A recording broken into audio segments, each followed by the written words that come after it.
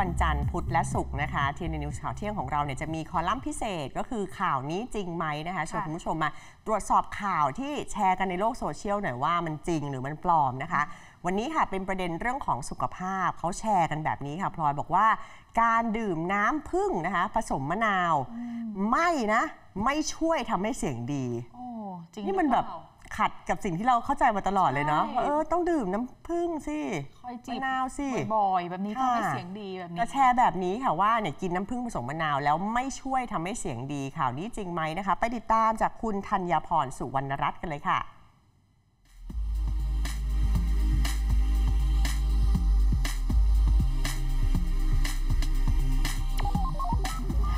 มเคยได้ยินไหมคะว่าถ้าเราอยากจะเสียงดีนะคะ โบราณเขาก็บอกว่าให้เรากินน้ำผึ้งผสมมะนาว แล้วก็จะทำให้เราเสียงดีขึ้น แต่ว่าล่าสุดค่ะมีคนออกมาแชร์นะคะ ว่าข้อมูลนี้ค่ะ ไม่เป็นความจริง การกินแบบนี้ไม่ได้ทำให้เราเสียงดี แล้วก็เกิดการถกเถียงกันในโลกออนไลน์นะคะ ว่าสรุปแล้วความเชื่อที่เราเคยเชื่อมาเป็นเรื่องจริงหรือไม่ วันนี้นะคะ เราก็เลยพาคุณผู้ชมมาคลายข้อสงสัยไขคำตอบ ไปกับข่าวนี้จริงไหมกับดิฉันนกธัญพรสุวรรณรัตน์ค่ะ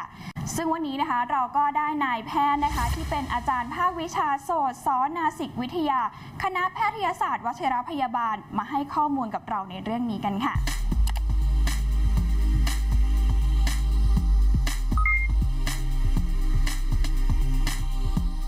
สรุปว่าเรื่องนี้จริงหรือไม่จริงคะการดื่มน้ำผึ้งผสมมะนาวนะครับ ไม่ช่วยให้เสียงดีขึ้นนะครับ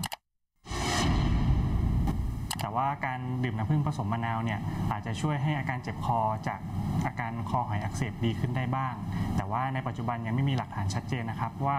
การดื่มน้ำผึ้งผสมมะนาวเนี่ยช่วยให้เสียงดีขึ้นนะครับ ปกติแล้วเวลาเรารับประทานอาหารอะไรเข้าไปเนี่ยครับอาหารจะถูกกลืนเพื่อส่งต่อไปยังหลอดอาหาร แล้วก็กระเพาะอาหารนะครับ ระหว่างการกลืนตัวฝาปิดกล่องเสียง จะทำหน้าที่ปิดกล่องเสียง เพื่อไม่ให้อาหารไหลผ่านกล่องเสียงไปยังปอด ซึ่งจะทำให้เกิดการสำลักอาหาร แล้วก็ปอดติดเชื้อได้นะครับ ดังนั้นอาหารที่เรากินเข้าไปก็เลยจะไม่มีทางสัมผัสกับสายเสียงนะนะครับ สรุปว่าข่าวจริงค่ะ การกินน้ำผึ้งผสมมะนาวไม่ช่วยทำให้เสียงดี เนื่องจากกลไกร่างกายเมื่อกลืนน้ำหรืออะไรเข้าไป บริเวณกล่องเสียงจะมีฝาปิดทำหน้าที่ไม่ให้อะไรไหลผ่าน จึงไม่สามารถผ่านเข้าไปบำรุงเส้นเสียงหรือสายเสียงได้โดยตรง คนที่ต้องใช้งานเส้นเสียงเป็นนักร้องหรืออะไรเงี้ยอยากจะดูแลตัวเองให้แบบมีเสียงดี มันพอจะมีวิธีช่วยได้ไหมคะวิธีการดูแลเส้นเสียงนะครับ ก็คือให้นอนหลับพักผ่อนให้เพียงพอ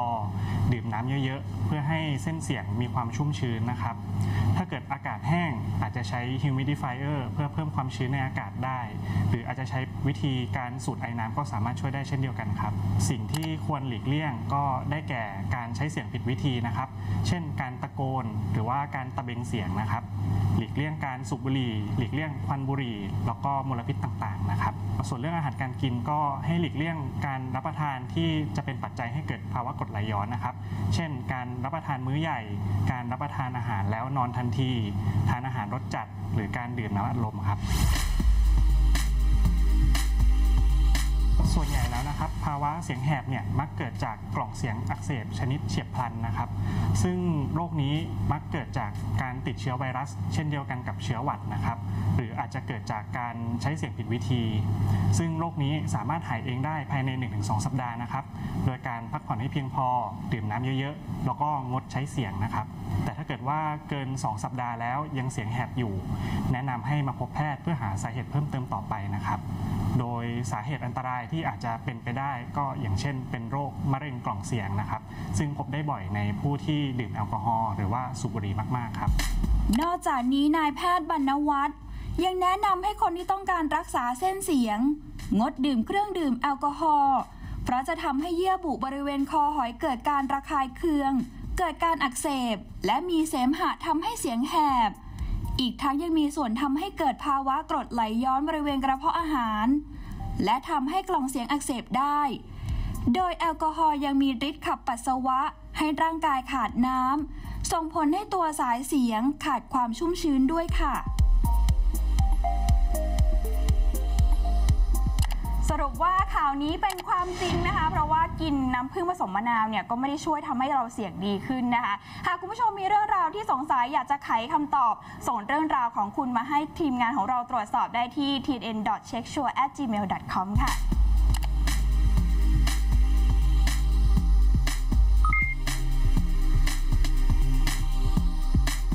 สรุปข่าวนี้เป็นข่าวจริงค่ะ เพราะฉะนั้นก็คือ อาจจะไม่ได้ช่วยนะเนแต่อะ ถ้าเกิดทานอยู่เพราะความชอบอันนี้ก็ทานต่อไปนะได้น้ำผึ้งผสมมะนาว ถ้ามันรู้สึกชุ่มคออุ่นๆ ก็น่าจะดีเนาะแต่ว่าอย่างที่คุณหมอบอกอะพักผ่อนให้เพียงพอ ใช่ดื่มน้ำเยเคอะรื่องดื่มแอลกอฮอล์ ๆใช่ อันนั้นนี่ก็จะช่วยจะช่วย เรื่องเสียงได้มากที่สุดนะแอลกอฮอล์เนี่ยเลี่ยงเลย ใช่ค่ะ ขอบคุณที่ติดตามรับชมรายการ TNN News ข่าวเที่ยงนะคะ แล้วก็อย่าลืมกด subscribe กดกระดิ่ง กดไลค์ กดแชร์ทุกช่องทางออนไลน์ของ TNN ช่อง 16 จะได้ไม่พลาดรายการสด และวิดีโอที่น่าสนใจอีกมากมายค่ะ